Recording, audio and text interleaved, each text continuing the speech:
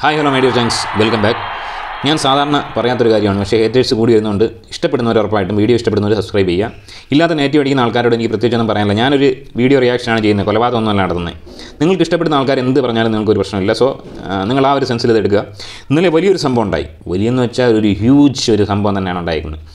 നമ്മുടെ ബിഗ് ബോസിലെ വിന്നറായ നമ്മുടെ ഫോർത്ത് സീസണിലെ വിന്നറായ ദിൽഷ ആന്റി ഒരു ഉദ്ഘാടനത്തിനോ അല്ലെങ്കിൽ ആദരിക്കൽ ചടങ്ങിനോ അവിടെ കൊയിലാണ്ടിയിലോ അവിടെ അവിടെ അവിടെ അന്ന് കൊയിലാണ്ടിയിലാണല്ലോ അവരുടെ വീട്. കൊയിലാണ്ടിയിൽ പോയ വലിയൊരു സംഭവം. അതിന്റെ ഒരു ഒരു ഞെട്ടലിൽ നിന്ന് ഞാൻ ഇതുവരെ വിമുക്തനായിട്ടില്ല സത്യം പറഞ്ഞു കഴിഞ്ഞാൽ. വളരെ അപ്രതീക്ഷിതമായാണ് ഞാൻ വീഡിയോ കണ്ടത്.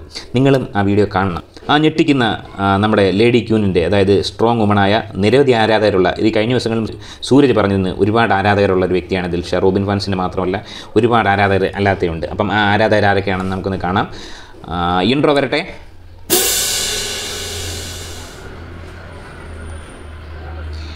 എത്ര ശോകമൂകമായ അന്തരീക്ഷമാണിത്. എനിക്ക് ഇത് കണ്ടിട്ട് അറ്റ്ലീസ്റ്റ് ഒരു പത്തൊമ്പത് ബംഗാളിയെങ്കിലും ഒരു അഞ്ഞൂറ് രൂപ വെച്ച് കൊടുത്ത് അമ്പത് ലക്ഷം രൂപ കിട്ടിയില്ലേ?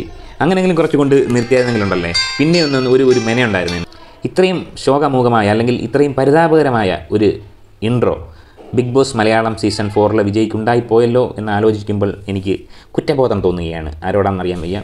എനിവേ സത്യത്തിൽ അവിടെ ആൾക്കാർ ഇല്ലാതെ ആയിരിക്കാം. ചിലപ്പം അങ്ങോട്ട് പോയി പോയി വരുമ്പോൾ ആൾക്കാർ കൂടാൻ ചാൻസ് ഉണ്ട്. വലിയൊരു ഹ്യൂജ് ക്രൗഡ് ഉണ്ട്. ആൾക്കാരെ തട്ടി തട്ടി നടക്കാൻ വയ്യാത്തൊരവസ്ഥ ആവും അങ്ങനെയാണെങ്കിൽ നമ്മളിപ്പോൾ പറയുന്നത് ശരിയല്ല. നമുക്ക് കുറച്ചുകൂടെ കണ്ടുപോകാം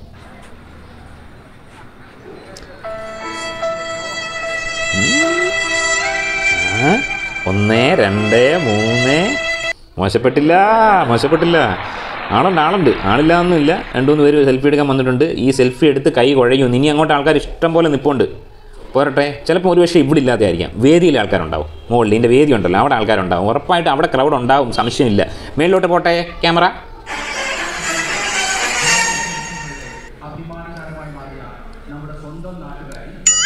എന്തൊരു ദുരന്തമാണിത്? മേളിലും ആൾക്കാരില്ലേ? എന്താണ് ഇവർ പരിപാടി നടത്തുന്ന കാര്യം ആരോടും പറഞ്ഞില്ലേ? അതോ ഇത് അതീവ രഹസ്യമായിട്ടൊരു കൊള്ള സംഘയത്തിൽ നടത്തുന്ന എന്തെങ്കിലും പ്രോഗ്രാമാണോ? ഇത്രയധികം ശോകമോഹമായ അന്തരീക്ഷം. ആരെയൊക്കെ ആരൊക്കെ അവിടെ വരുമെന്നൊക്കെ വിളിച്ച് പറയുന്നുണ്ട്. പക്ഷേ ആരെയും കാണുന്നില്ല. നാല് മൂന്ന് ഏഴ് പേരുണ്ട്. എല്ലാ കസാരയും കാലിയായിട്ടിരിക്കുന്നു. എന്തോ ഇവിടെ ഒരു തകരാറ് പോലെ.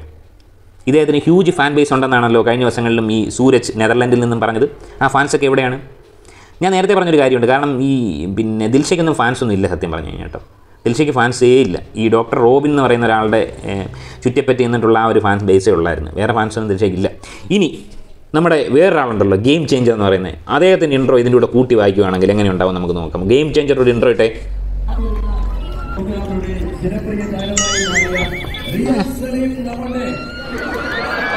ഇതാണ് അവസ്ഥ.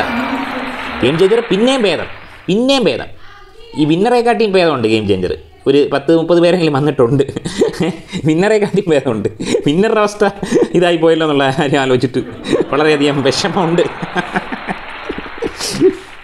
ഞാൻ നേരത്തെ പറഞ്ഞില്ലേ ഞാൻ ഞാൻ നേരത്തെ പറഞ്ഞതെന്ന് വെച്ചാൽ പല വീഡിയോ ഞാൻ പറഞ്ഞിട്ടുണ്ട്. ഇത് ഞാൻ കുറ്റമായിട്ടൊന്നും പറയുന്നതൊന്നുമില്ല. ഈ ഗെയിം ചേഞ്ചർ ആണെന്നും ഈ വിന്നറാണെന്നൊക്കെ നിങ്ങൾ പറഞ്ഞുകൊണ്ട് കിടക്കുന്ന ആൾക്കാർക്ക് ഇവിടെ ഫാൻ ബേസ് ഒന്നും ഇല്ല. ഇവിടെ ആകെയുള്ള ഫാൻ ബേസ് എന്ന് വെച്ചാൽ ഈ ഡോക്ടർ റോബിന് മാത്രമേ ഉള്ളൂ. പിന്നെ പ്ലസ് ടു വന്നാലും കുറച്ച് ആൾക്കാരുണ്ടാവും. കാരണം അവൻ നല്ലൊരു പയ്യൻ അവൻ അവന്റെ പാട്ടെങ്കിലും കേൾക്കാൻ ആൾക്കാരുണ്ടാവും. മറ്റുള്ളവരുടെ പരിപാടികളൊന്നും കാണാൻ ഇവിടെ ഒരു മനുഷ്യനും ഉണ്ടാവത്തില്ല. നൂറ് ശതമാനം ഉറപ്പാണത്. നിങ്ങൾ ഇനി എത്ര തലമുത്തി പറഞ്ഞാലും ഈ പറയുന്ന ആശാമാർ സോഷ്യൽ മീഡിയയിലൊക്കെ ഇരിക്കുന്ന കുറച്ച് ആൾക്കാരുണ്ടാവും. പിന്നെ ഇതിനുശേഷം ദിൽഷ എന്ത് പറയുന്നുണ്ട്? മെസ്സേജ് ആൾക്കാർക്ക്.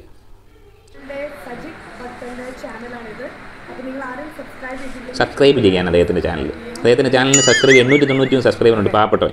ഇത് പറഞ്ഞു കഴിഞ്ഞാൽ ഉള്ളതൂടെ പോയി പോകും ചിലപ്പോൾ ചെയ്യുമായിരിക്കും. ഈ പറഞ്ഞ ഈ ഓൺലൈനിലുള്ള ക്രിസ്റ്റപ്രോ പിന്നെ സുറു ഒക്കെ ചെയ്യുമായിരിക്കും. ഒന്നോ രണ്ടോ പേര് ചെയ്യുമായിരിക്കും. ചിലപ്പോൾ സൂര്യനും ചെയ്യുമായിരിക്കും. അല്ലാതെ ഈ കാണുന്ന ആൾക്കാരും ചെയ്തിരുന്നെങ്കിൽ ഇപ്പോൾ ഒരു പത്ത് പതിനായിരം സബ്സ്ക്രൈബേഴ്സെങ്കിലും ആയേനെ. അദ്ദേഹത്തിന്റെ ഉള്ളതൂടെ പോക്കാൻ വേണ്ടിയുള്ള ശ്രമം തോന്നി സജിത് ഭക്തന്റെ കഷ്ടം.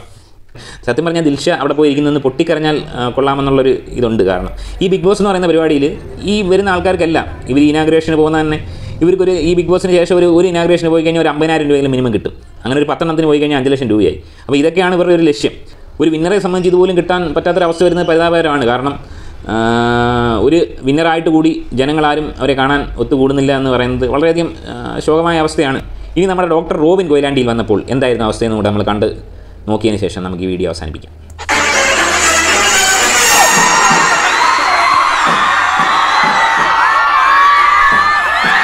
ടോക്സിക് ഫാൻസിന്റെ ഓരോ അവസ്ഥയല്ലേ ടോക്സിക് ഫാൻസ് അല്ലേ കേരളത്തിൽ മൊത്തം ടോക്സിക് ഫാൻസ് ഡോക്ടർ റോബിൻ എവിടെ പോകുന്നു അവിടെ എല്ലാം കയറി ഇറങ്ങി കയറി ഇറങ്ങി നടക്കുക ഉദ്ഘാടനത്തിനാന്ന് പറഞ്ഞിട്ട്. ഇതാണ് ടോക്സിക് ഫാൻസിന്റെ അവസ്ഥ. അതുകൊണ്ടാണ് ഇവിടെ ഇത്രയും ആൾക്കാർ അല്ലെങ്കിൽ ഇവിടെ ഒന്നും ഒരു ആൾക്കാരും വരത്തില്ല. ദിൽഷയ്ക്കും ഗെയിം ചേഞ്ചർക്കും ഇതേപോലെ ആൾക്കാരെ കൊണ്ടുപോകാൻ വയ്യ. അതിന്റെ ആവശ്യമില്ല അവർക്ക്. അവർക്കുള്ള ഫാൻസ് മതി. നാല് മൂന്ന് ഏഴ് പേര് മതി. അല്ലാതെ ഓരോരുത്തരെ വണ്ടി കയറ്റി വിളിച്ചുകൊണ്ട് പോയിട്ട് ഉദ്ഘാടനത്തിന് ഇറക്കിയിട്ട് പൈസ കൊടുപ്പിച്ചിട്ട് അങ്ങനെ ആളെ കൂട്ടേണ്ട ആവശ്യമില്ല. അങ്ങനെയാണല്ലോ ഡോക്ടർ റോബിനെ ആളെ കൂട്ടുന്നത്.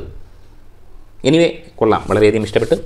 എനിവേ ഈ കൊയിലാണ്ടിയിലെ ജനങ്ങൾ കാണിച്ചത് വളരെയധികം ചെറ്റത്തരവും തെണ്ടിത്തരമാണെന്ന് ഞാൻ പറയാൻ ആഗ്രഹിക്കുകയാണ്. ഇനി അവിടെ ഹർത്താൽ വല്ലതും ആയിരുന്നു? അല്ലെങ്കിൽ അവിടെ കൊറോണ വല്ലതും സ്പ്രെഡായതാണോ ഇത്രയും അധികം ആൾക്കാർ എന്താ പറയുക വീട്ടിനുള്ളിൽ കയറി ഒളിച്ചിരിക്കാനുള്ള കാരണം? അതോ ഈ ദിൽഷ പ്രസന്നൻ വരുന്ന വിവരം അറിഞ്ഞ് മനഃപൂർവം ഒളിച്ചതാണോ? ടോക്സിക് ഫാൻസിന്റെ ഒരു മേഖലയാണോ അത്? ഇതുപോലുള്ള ആദരിക്കൽ ചടങ്ങുകൾ ഇനിയും ഈ ദിൽഷ പ്രസന്നനെ തേടിയെത്തട്ടെ എന്ന് ഞാൻ ആശംസിക്കുന്നു. വളരെ മികച്ചൊരു ഇത്.